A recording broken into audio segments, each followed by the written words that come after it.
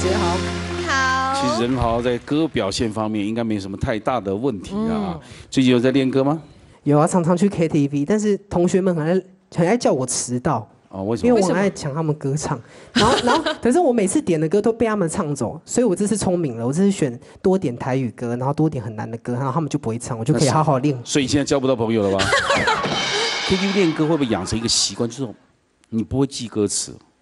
哦，就是看着你一直每天都盯着歌词在唱，唱完但是玩归玩，我回家还是会自己练。对，因为我们常常去中南部很多社区就有唱歌的，你只要表演的时候，他啊摸瓜叔哦，没有习惯了，太依赖习惯了。好，我们首先要请到的是薛忠明老师，请做讲评。去 KTV 练歌，你像这种人真的很令人讨厌的，我觉得是这种唱的太好人，大家都不会想要跟你唱这样。不过任豪今天选这个歌哈，我觉得这个歌。对你有加到很大的分数哦，这个歌其实的情绪，在这个三拍的歌里面来讲，你这个歌就有做到那个张力。你进来这个歌，这种三拍进来那个揪心的感觉就有做到，然后后面那个力量哈，最后那个冲力也做得很好。我觉得这个其实可以给那严梅一个参考，因为他其实你看他唱歌虽然也是黏，你也是有同样的特色黏，但是他的拍子都落点都落的，有些拍子不会拖太久。你就是因为拖拍拖太久了，所以听起来没有什么重点，好，提供你做参考。但人好的细节，我觉得那个最好听是在那个真假音。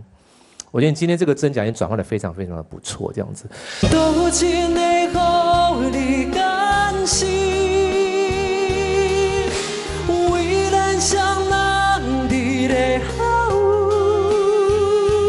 还是有点要提醒你注意，因为你唱歌还是有一个特色，就是比较喜欢黏。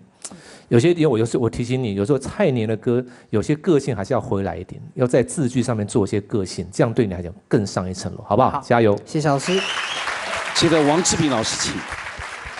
我觉得任豪，我个人是非常喜欢你今天的 A 段。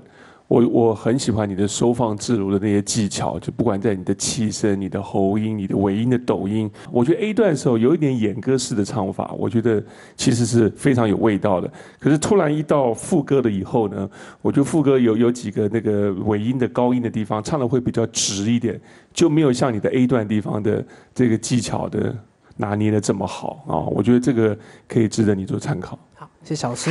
好，这谢谢评审的奖评。首先，我们来看呢，呃，是陈仁豪呢，来这首歌能获得几分？一个是前面有九十一点二跟九十点六，评审请给分。